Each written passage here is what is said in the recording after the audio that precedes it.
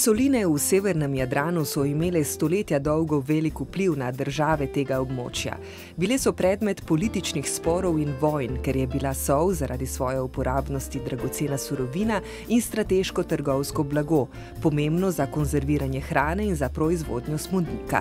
Nekoč je bilo v Tržaškem zalivu in Istri veliko manjših in večjih solin, a so se do danes ohranile le še sečoveljske in strunjanske.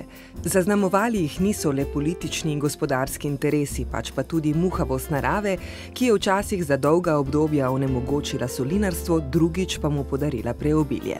V tej množici kakovostnih soli ima nad vse vidno mesto piranska sol, ki se prideluje po izročilu starem več kot 700 let in zgolj s tradicionalnimi urodi. Osnovni proces je naravna kristalizacija na solnih poljih, kjer se sol pobira na nekaj milimetrov debeli podlagi biosedimenta, sestavljen iz mineralov in mikroorganizmov. Blagovna znamka piranske soline zaobjema prehrambene artikle in številne dodatke, namenjene uporabi v kuhinji. Linija piranske soline poudarja primarno uporabnost soli, povezuje tradicijo ter kvaliteto. V krovnem logotipu je ohranjen stari znak iz 50 let z namenom, da se poudari dejstvo, da gre za avtohtono slovensko blagovno znamko.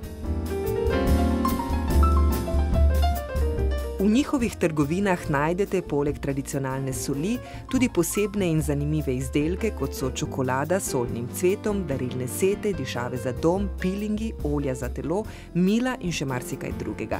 Izdelki so kakovostni in uporabni, predstavljajo tudi idealno pozornost za tiste, ki obožujejo morje in naravne sestavine.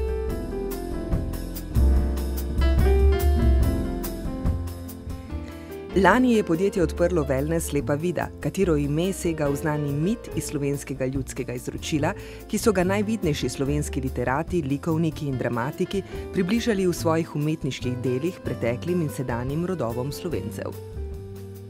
Blagovna znamka povezuje tako storitveno dejavnost kot izdelke. V njihovem talasu spa lepa vida vam ponujajo naravne učinkovine, solinsko blato, slanico in sol, ki so pridobljene v ukrajinskem parku Sečoveljske soline. S tem unikatnim centrom sredi solnih pol pomembno prispevajo k pestrosti turistične ponudbe v regiji. V talasu spa lepa vida, vam v blagem zaveterju solnih pol ponujajo darove morja, ki krepčilno delujejo na telo ter v organizmu vzpostavljajo ravnovesje.